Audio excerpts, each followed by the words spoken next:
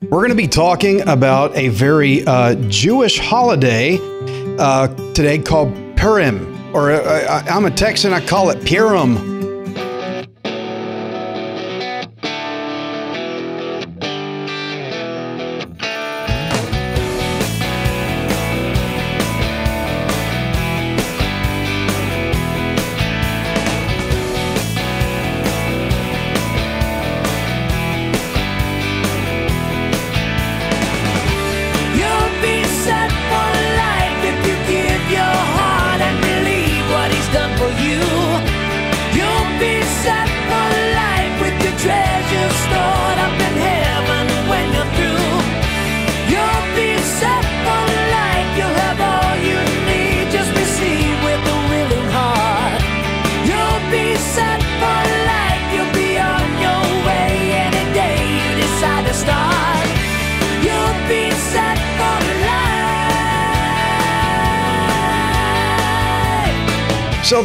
Purim, it comes from Esther.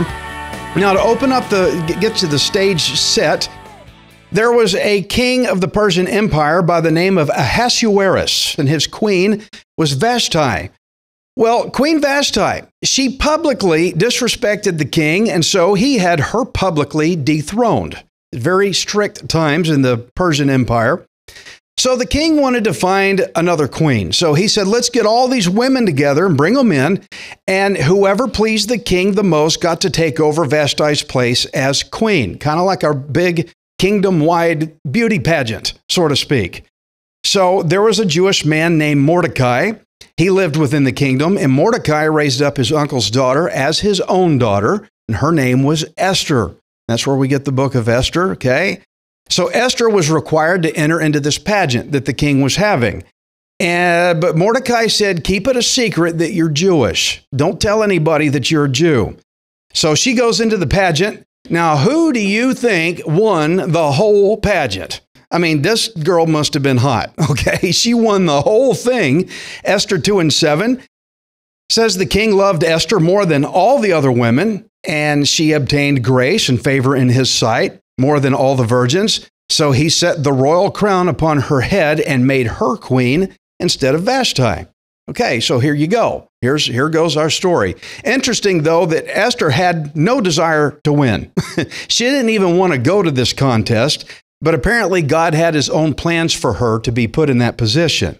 So now bam, Mordecai's daughter Esther, she is the queen of the entire Persian empire now.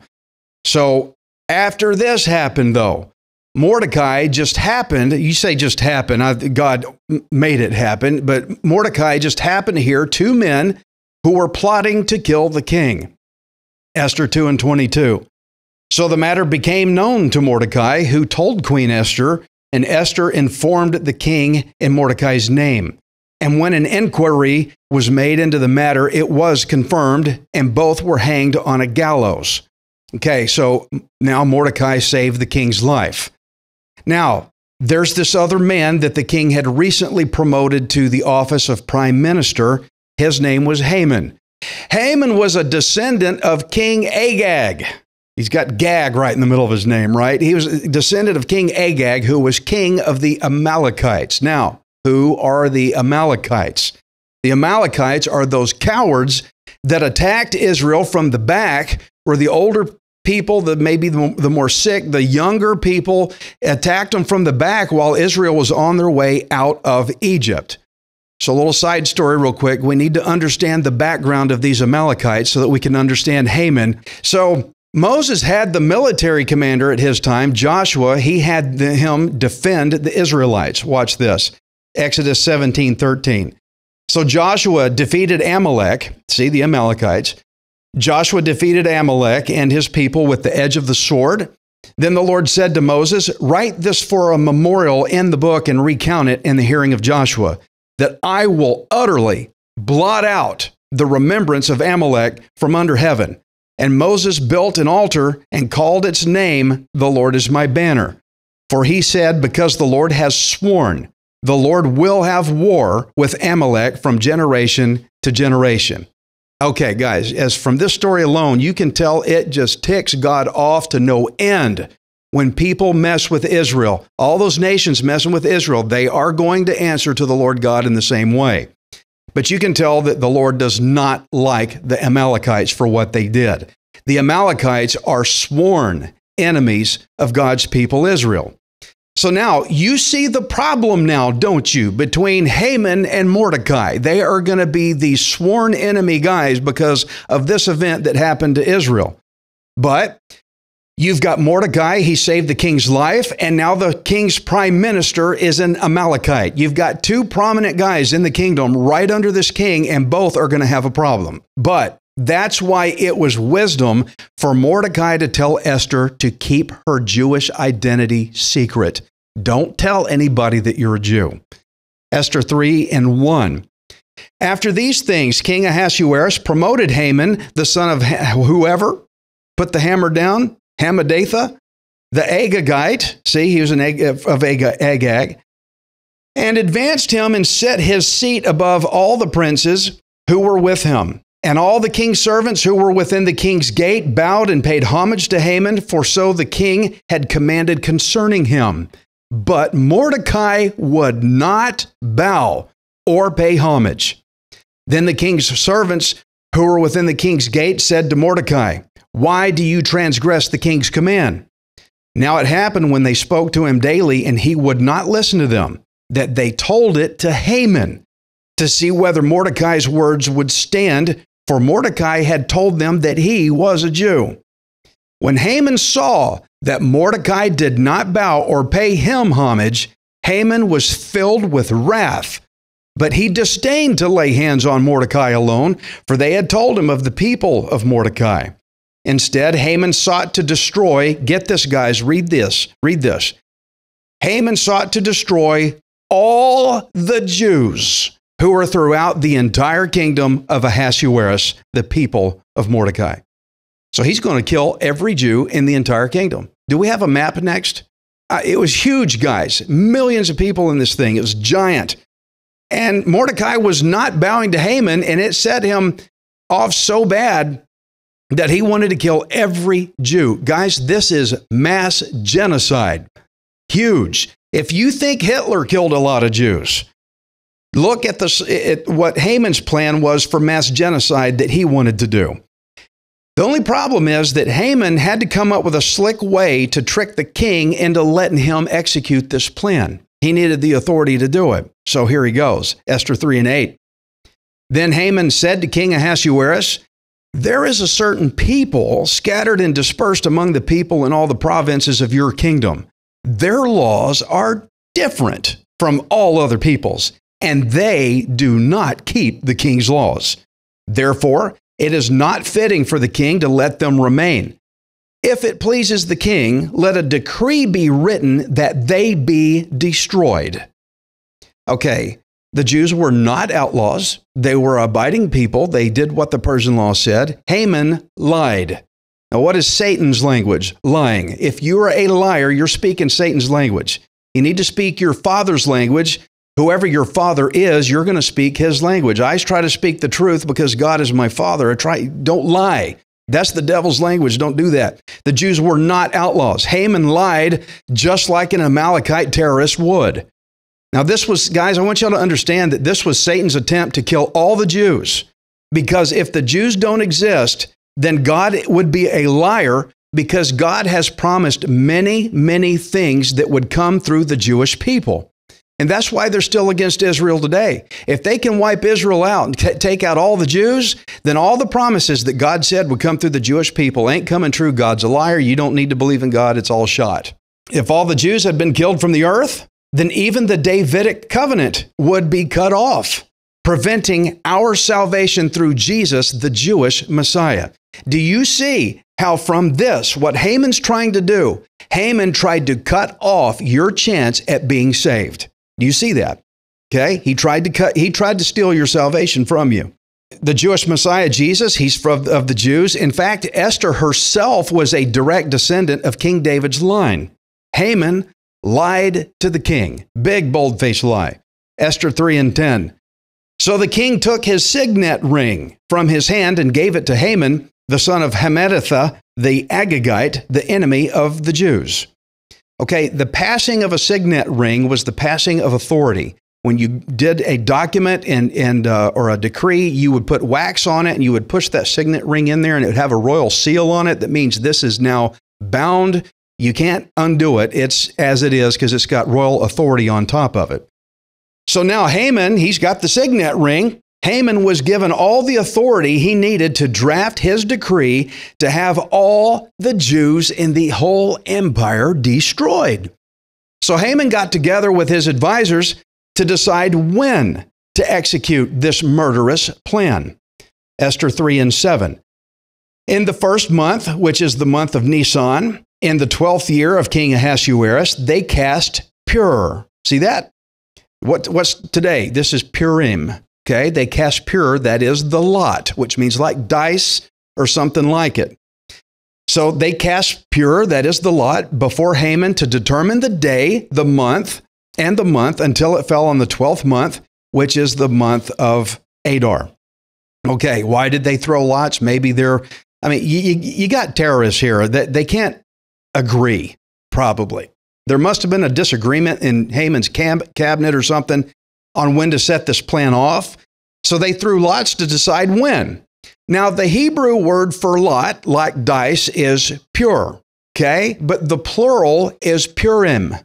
And this is where we get the name of the Feast of Purim. Esther 3, verse 12.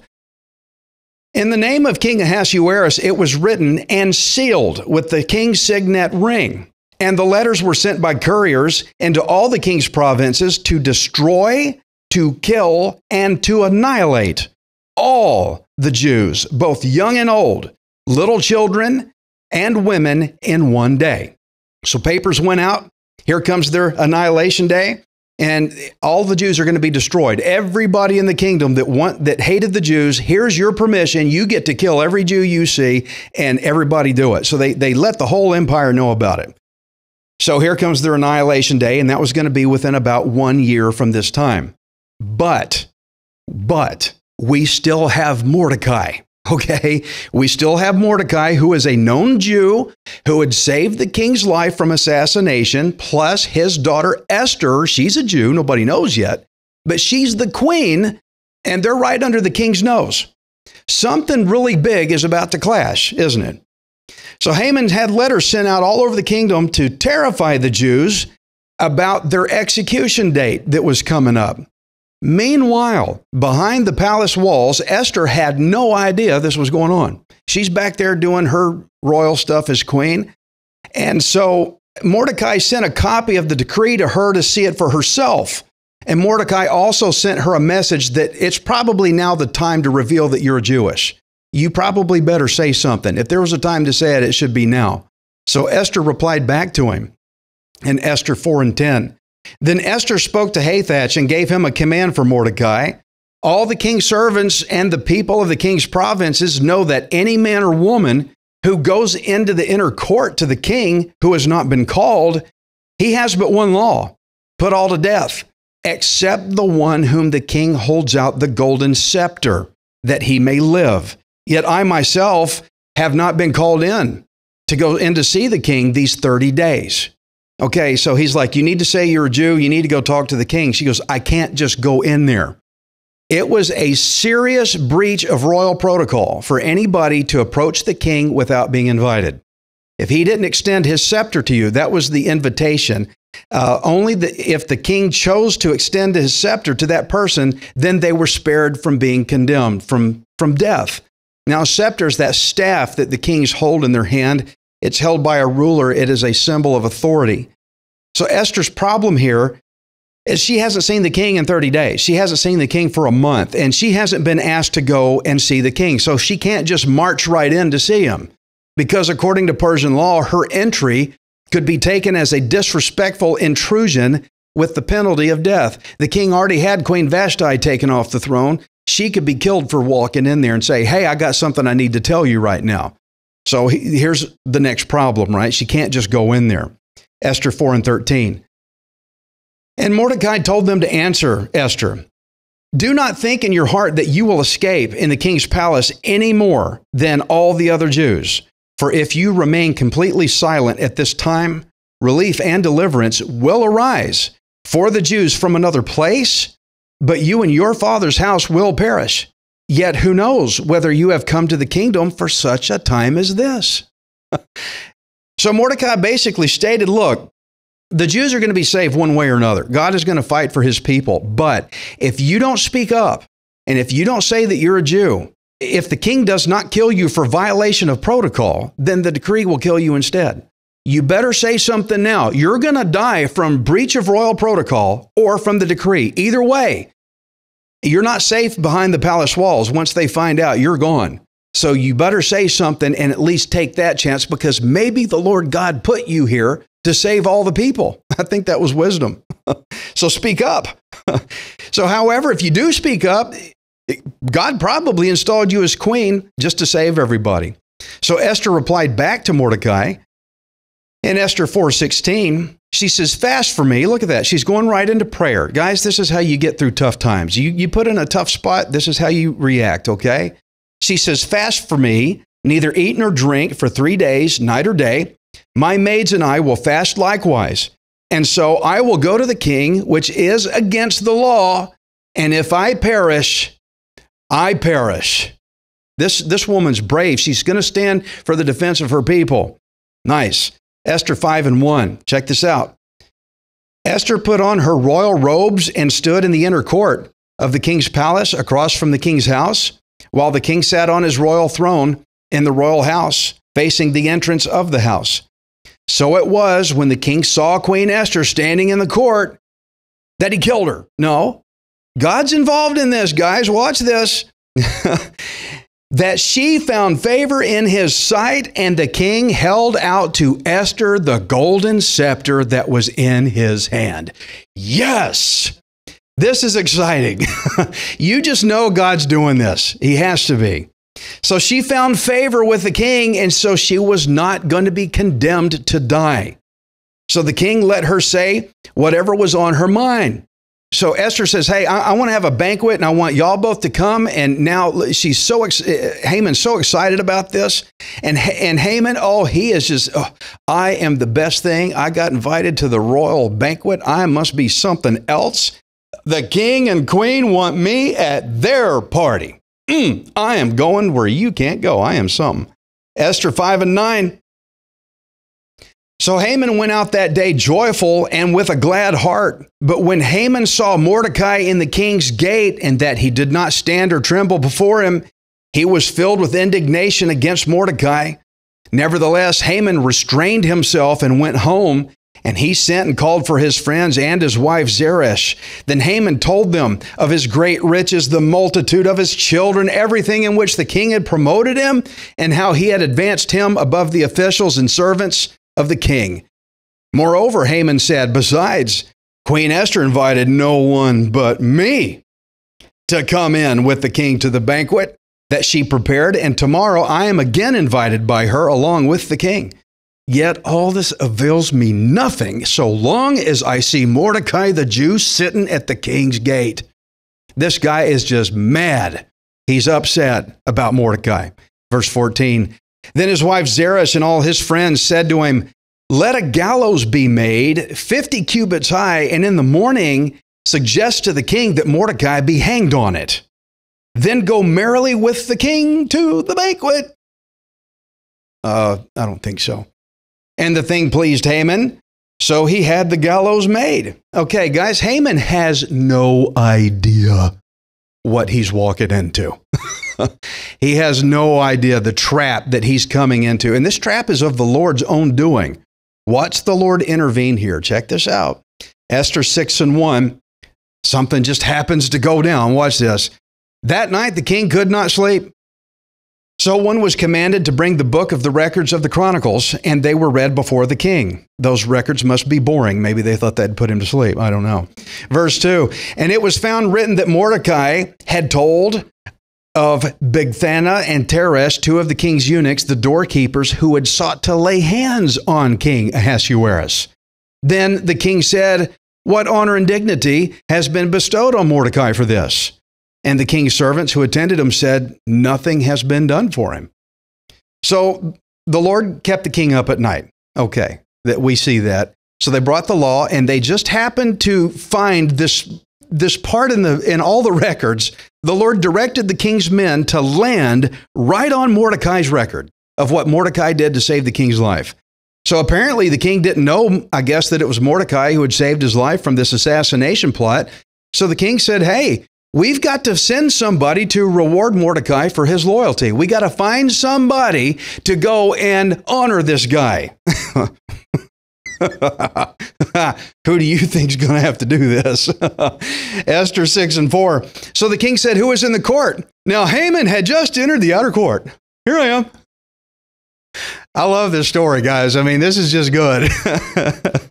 now, Haman just entered the outer court of the king's palace to suggest that the king hang Mordecai on the gallows that he had prepared for him. The king's servant said to him, Haman's there, standing in court. Let's go get him. And the king said, Let him come in. So Haman came in, and the king asked him, What shall be done for the man whom the king delights to honor? Now Haman thought in his heart, Whom would the king delight to honor more than me? He thinks he's talking about him. Verse 7 And Haman answered the king, For the man whom the king delights to honor, let a royal robe be brought which the king has worn, and a horse on which the king has ridden, which has a royal crest placed on its head. Then let this robe and horse be delivered to the hand of one of the king's most noble princes, that he may array the man whom the king delights to honor. then parade him on horseback through the city square and proclaim before him, Thus shall it be done to the man whom the king delights to honor. Then the king said to Haman, Hurry, take the robe and the horse as you have suggested, and do so for Mordecai the Jew. yes. do this for Mordecai the Jew who sits at the king's gate. Leave nothing undone, all that you have spoken. But Haman's like, I should have shut my mouth, man. Verse 11 So Haman took the robe and the horse arrayed Mordecai and led him on horseback through the city square and proclaimed before him, Thus shall it be done to the man whom the king delights to honor. I bet he just loved having to do that.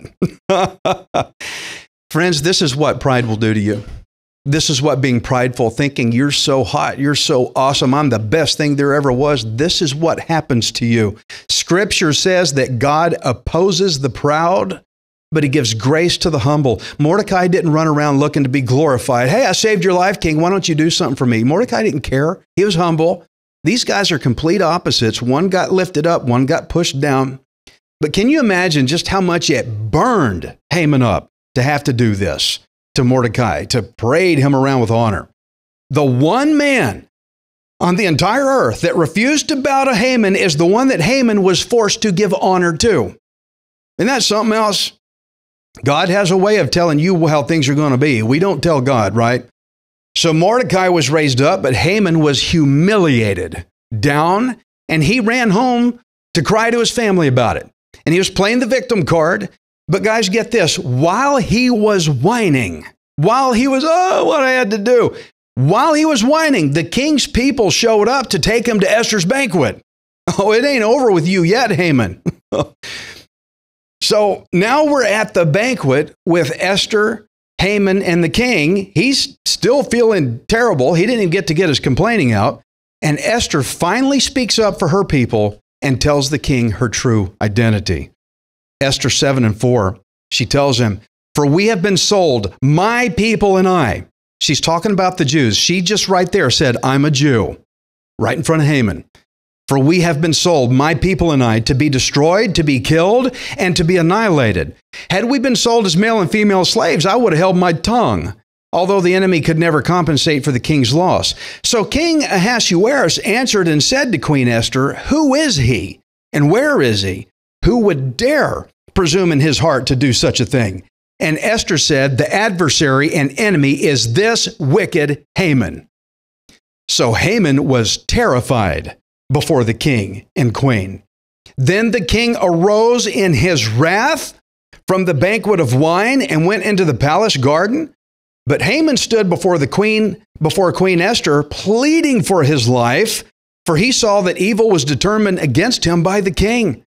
When the king returned from the palace garden to the place of the banquet of wine, Haman had fallen across the couch where Esther was. Then the king said, Will he also assault the queen while I'm in the house? As the word left the king's mouth, they covered Haman's face. Now, Harbona, one of the eunuchs, said to the king, Look, the gallows 50 cubits high, which Haman made for Mordecai, who spoke good on the king's behalf, is standing at the house of Haman. Then the king said, Hang him on it. Bam! Oh, I want to laugh, but man, I want to shudder too. Hang him on it. So they hanged Haman on the gallows that he had prepared for Mordecai. Then the king's wrath subsided. Haman is gone. He's out of here. He intended for the Jews to be killed, but Haman died on his own gallows that he himself had built. His plans of pride hung him. Proud person, if you're whoever's hearing me, all the plans you build based on your pride, you're going to hang on it. I would probably disengage that project and see what the Lord would rather you do for him instead of your own stuff. But that's a little side note. But what a pathetic way to go. But guys, there's still a problem. We still it's not done. There's still a problem. Persian law says that when you once you pass a decree, it can't be undone. Not even the king can do it. When you pass a decree and send it out, it's out there. It's that annihilation day for the Jews is still coming. He's, it was sealed with the royal ring and everything. It's, it's still active. That old decree to annihilate the Jews is still out there with a set date on it. So the king told Mordecai and Esther, I want you to go write a new decree. And a new decree that will counter the old decree giving the Jews a way to be saved. Esther 8 and 2. So the king took off his signet ring, which he had given had taken from Haman, and gave it to Mordecai. And Esther appointed Mordecai over the house of Haman. Remember all the stuff Haman was bragging about that he had? Okay, look who's got it now, right? Verse 8. Then King Ahasuerus said to Queen Esther and Mordecai the Jew, You yourselves write a decree concerning the Jews as you please, in the king's name, and seal it with the king's signet ring. For whatever is written in the king's name and sealed with the king's signet ring, no one can revoke. Okay, so that signet ring of authority that Haman used to have has now been passed to Mordecai and Esther. So they drafted a new decree. A new, a new decree to go out, giving the Jews permission to kill anybody who had assaulted them. And they sealed it with the authority of the king's signet ring. And they ran copies of that decree out to all over the empire as fast as they could. So everybody had been scared of the first decree, now they got another one. Well, wait a minute. One decree was going to kill us. Now this decree is going to save us, right? Esther 9 and 1 says, The time came for the king's command and his decree to be executed. On the day that the enemies of the Jews had hoped to overpower them, the opposite occurred, and that the Jews themselves overpowered those who hated them. Back in your face. Okay, it finally came down, but the Jews were given a new decree. One question though how did the Jews overpower all these people? Well, because Mordecai had been promoted by the king, he instructed the king's, the king's military to help the Jews fight. So this was not just the Jews fighting, this was also the king's military helping them. That was in the new decree that went out to save them. Nice. So the fear of Mordecai fell on the Jews' enemies. So Mordecai instituted from this the feast of Purim. Remember, Purim was means the plural for lots that Haman threw for their death day. He instituted the feast of Purim to be reminded every year of the lots that were thrown to choose the day that all the Jews would be killed. But now that day was turned from sorrow into joy for them because the Lord God fights for his people and the Lord God wants to save his people. Isn't that great? Esther 9:26 so they called these days Purim after the name Pur. Friends, I want you to take one thing from here. The Lord God saves his people. So I want you to watch this next part about Purim very, very closely. Okay, check this out. We're getting into some theological stuff here. Esther 927. The Jews established and deposed it upon themselves and their descendants and all who would join them. If you're a Gentile, not a Jew like me, you need to underline that right there, where it says their, all their descendants and all who would join them. That all who would join them, that includes you and me. Right? This is a very Jewish Purim. I've never heard of it. Hey, before I understood the Jewishness of our faith, I hadn't heard of Purim either. But it says, you Gentiles, me Gentile, we get to jump into this, right? And all who would join them, that without fail they should celebrate these two days every year. Okay, the Bible says celebrate Purim every year. I've never heard of Purim. Yeah, let's read the Bible and find out what God wants us to do and let's do it. Okay, that's why we're celebrating it today. So this says the Feast of Purim should be kept, and not just for the Jews, but who else? All who would join them. Friends, I'm a Gentile. I'm not Jewish that I know about, and this Jewish holiday is also for me. This is mine too. And I believe we should join the Jews in this, in this feast. First off, our salvation is from the Jews. Jesus even said so in John 4 22. He said, Salvation comes from the Jews. Friends, Jesus is a Jew. I don't know if you knew that or not, but he's a Jew, okay? So let me put this whole story into a Jesus parallel for you. First off, I want us to, be, uh, to understand some very important things. Romans 3:23 says, "For all have sinned and fall short of the glory of God." And Romans 6:23 says, "For the wages of sin is death." I am a sinner. Some people believe pastors are perfect. Oh, good Lord, you've got to be kidding me. I'm a sinner. Anybody in here think, well, you're not a sinner like me, Ray? Yes, I am. I have sinned. I have done bad things in my life. And God's law says if you sin, you die. That's God's law. Well, I just showed it to you. The wages of sin is death. You should die. You earned that because you're a sinner. I'm not just pointing at you, I'm talking about me. I sinned. I should be dead. I should be condemned. As a matter of fact, our best righteousness, the Bible says, is like filthy rags unto God. And God's law against us is still out there, guys.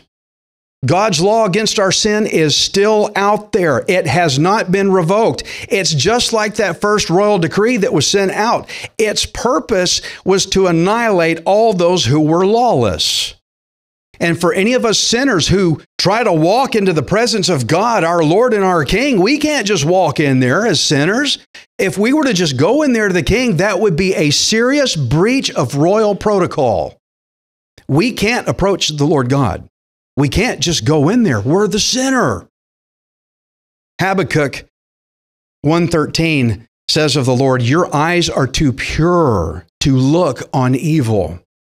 I'm just going to go to God. You can't. Well, what am I supposed to do? I'm getting to the good news. Just hang on. We're getting there. But, guys, the first thing we need to understand if you really want to get saved, you first need to understand the sinner that you are, that I am. We're sinners. We just blew it, guys. Let's just let's just swallow that. Don't beat yourself up over the mistakes you've made. I'm not doing that. I'm a sinner, but I'm a forgiven sinner, okay? But there's the judgment day out there of God's law. So basically, there's an upcoming day that has been set for our annihilation, for our destruction. It's called Judgment Day. And not one of us sinners is going to survive it. Every last one of us are doomed for condemnation. We cannot approach our King Jesus unless the King invites you. Oh, oh, I see Esther playing out now. You can't go into that king's throne room unless he asks you to come. Remember how King Ahasuerus found favor with Esther, so he held out his, his scepter to her. That was the invitation to come to him. Jesus said in Matthew 11 28, Come to me, come to me, all you who labor and are heavy laden, and I will give you rest. Friend, that is your invitation by the King. He says, I invite you to come in. That's our invitation. Okay, good. I get to go in. But wait a minute. Hang on.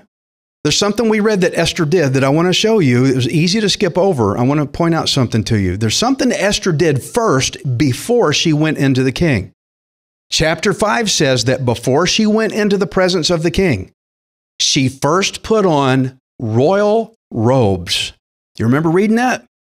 But she didn't just march right in. She got dressed, man. She got this royal robe. She put it was probably purple and you know just royal color and got dressed.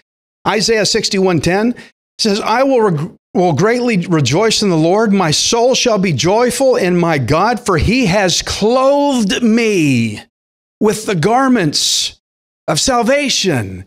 He has covered me with a robe of righteousness." You got to get dressed with that before you get to go in to see the king. The book of Romans says we should put on Christ. Like when you put on your clothes, you, you put on Christ. That means no more you, no more this proud Haman, oh, look how awesome I am. No, you take that off and you put on Christ and get clothed in his righteousness. Because, friends, I'll tell you, you and I have no righteousness at all. We, we have none. We're bankrupt. We, we just don't, stop thinking you're so great. Man, I can't believe I got a pastor telling me how terrible I am. Well, we read it. We're sinners and we deserve death. I'm just being truthful with you. The only shot you have at all of being saved at all, the only way you can do anything good at all is because of the righteousness that the Lord God wants to clothe you with. But you got to put that on. Revelation says that believers will wear fine linen in holy righteousness. Friends, if you want the King of Kings to find favor with you, you can't just go into him as you are. You first have to put on the royalty of Jesus Christ. You have to put on the righteousness of Jesus. He is Jesus Christ is the only garment that you can wear that our king will find favor with on you. He's it. If you ain't wearing Jesus, you're not getting an invitation to come in. But did you notice in the story how some people were killed while others were saved? We had two decrees out there. Some people were killed, some people were saved. Those who got under Haman's law of destruction, they all died. But those who chose to get under Mordecai's new and better saving law, they all lived. Now, I want you to watch this. Check this out. The Bible says of Jesus in Hebrews 8 and 6, it says, But now he has obtained a more excellent ministry, inasmuch as he is also mediator of a better covenant. It's better than the one that was already out there, a better covenant which was established on better promises. Jesus once said, All authority has been given to me, just like how that signet ring was passed over to Mordecai. So Jesus had all the authority so that Jesus could draft up a brand new covenant that would save us from the covenant that was out there that was going to kill us. That first covenant was going to kill you. And so Jesus says, Let me have the signet ring, I'll send out another covenant. And he sent that one out to save you. Save us from our sin. God's old law is still out there, friends. I don't want you to be mistaken. I want you to understand that God's old law that's going to kill people, the sinful, it is still out there and it will not be revoked. It is out there to kill you for your sin. And everyone who refuses to get under the blood of Jesus will be caught by God's condemning destructive law. But for those of us who have put on Jesus, who decide to get under the new covenant, Romans 6:14 says, "Sin shall not have dominion over you, for you are not under law, but under grace." Oh. Ah. You know why we're partying today? Can you see this? Because God says, "I don't want you to be destroyed, I want you to be saved." Isn't that great? Under the old law, we were all going to die, guys. But just like how Mordecai and Esther worked on a better decree, Jesus worked out for our better covenant of grace, not for our destruction, but for our salvation. So, can you see why Purim is offered not just to Jews, but to all who would join the Jews? Friend, are you, are you glad that you've been saved? Well, then this is your day to celebrate your salvation today on Purim. It's not just a celebration for them. Our salvation picture is in this story So, yes, you better believe I'm celebrating Purim because I'm under the better covenant of Jesus Christ where I don't have destruction to look forward to. I have salvation. Under Jesus, I have victory. Amen. John 3:36 says, "He who believes in the Son, Jesus, has everlasting life, and he who does not believe the Son shall not see life, but the wrath of God abides on him." Y'all remember how the king was infuriated with Haman? How mad the king was, so he ordered, Hang him! Hang him! I want you to think about that for a minute. Imagine standing in front of the king and he looks at you and says, Hang that person. You're toast, man. You're gone. So a wrathful king demands the death of the guilty. But I also want you to remember how we read in the text. It said that after they hanged Haman on the gallows. It says, after he hanged, the king's wrath subsided. You remember that? The king's wrath subsided after he died. Friends, if you want God's wrath against your sin to subside, you know what you have to do? You have to die. If you want the Lord God's wrath against you to go away, you have to die. Galatians 2:20 says, "I have been crucified with Christ. It is no longer I who live, but Christ lives in me. And the life which I now live in the flesh, I live by faith in the Son of God who loved me and gave himself for me." You want the king's wrath to subside? You need to be crucified with Christ. It's no longer about you anymore. It's no longer about your little empire that you're building for yourself, like Haman. Oh, look what I have. Look what I've. That's just going to go into somebody else's hands like it went into Esther and Mordecai's. But friends, you've got to die. Why should we celebrate, celebrate Purim? Because if we die to our, our old self and if we put on Jesus, then we can find favor with our King who invites us to come in with him through the new and better covenant of the grace of Jesus Christ. Purim is just one more reason for us to celebrate our salvation. Isn't that exciting? I would like to ask all of you, if you want to, go home today, pick up the book of Esther, and read the whole thing. And there's a lot of stuff I skipped. You need to see all of it. This story is really, really cool. But our salvation's in this. So uh, I want to show you a Purim rap video. Yes, sung by Jews, actually. I want to show you this. This is what they're singing right now. Check this out.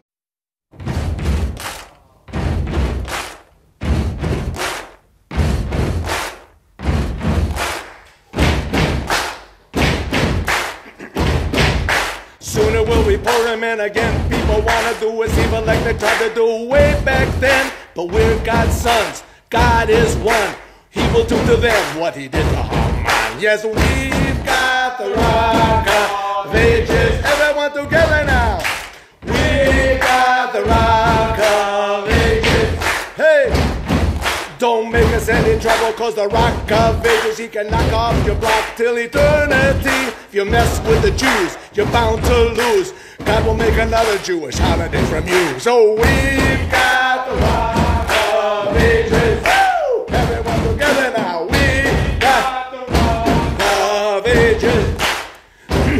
You know that Purim is the holiday when all the Jews say, If you're happy, God will slay all of your enemies. Don't be afraid, no need to cry. God will turn your troubles to a bundle of joy. So we've got the rock of ages.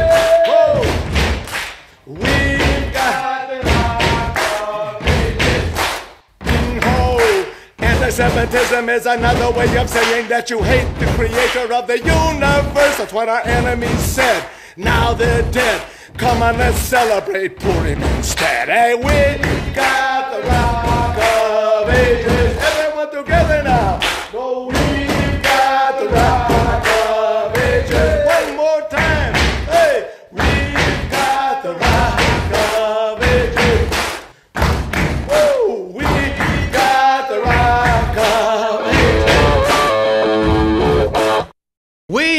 We've the rock of ages. Amen. Aren't y'all excited? You know, the Jews have a saying they tried, they died, let's eat. We're going to do that too. Father, thank you for your word today. Uh, we're going to celebrate our salvation. Lord, we just thank you. That, gosh, you didn't even have to do this for us because we're so unworthy. You could have just left us alone, said, No, you messed up. Too bad for you. But no, you came to save us because you didn't want us to be destroyed. Thank you, Lord. For anybody here, you want to know how to get, well, Ray, how do I do it? How do I do it? What ceremony? It's not a ceremony. You just need to believe. Here's how you do it. Just follow me. I'll pray with you. You pray. If you if you want to get saved right now, you don't want God's wrath against you for your sin. You know you've messed up. You know you haven't yet fixed the problem. Here's where your solution comes. Pray with me. Just do this. Father, forgive me. Forgive me, Lord. I messed up. I messed up bad. And I don't want to suffer your wrath. Thank you for sending Jesus for that new covenant that he died on the cross and paid the death penalty that I was supposed to take. He paid it for me so that I could be free. I give you my life, Lord Jesus. I will follow you. I will pursue you. It's no longer about me. I now get rid of my pride. I put on your son, Jesus. Thank you for coming after me. I give you my life. It is yours now. Take it and do what you want with it. Thank you for the invitation of eternal life. In Jesus' name, amen. If you just prayed that prayer, you just got saved right where you are. Right now, you just crossed over from death to life. You crossed over from judgment to grace. And now, Father God's wrath against you will now subside.